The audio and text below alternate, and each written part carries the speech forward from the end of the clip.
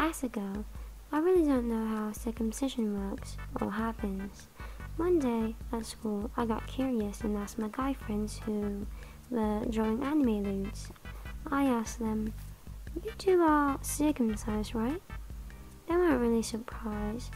They both just looked at me and answered, Duh. I told them how I thought the process of circumcision happens. I took my friend's kneaded eraser and sculpted a chin chin. Then I demonstrated how I thought guys get circumcised. I cut the tip of the chin chin and then I explained to them that I thought when they heal a new head comes out of the cut chin chin, like a plant bearing fruits.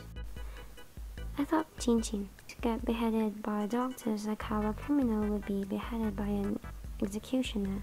They both looked slightly uncomfortable due to my statements. Probably imagined it happening to the chin chin.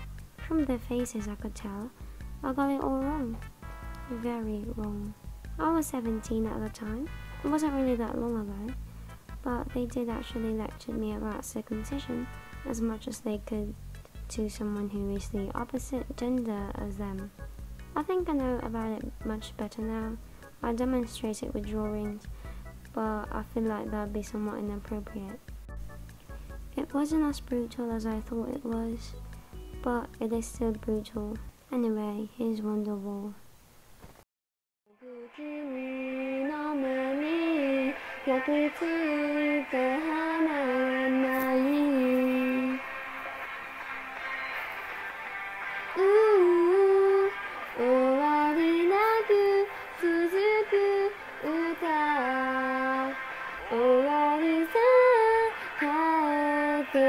Do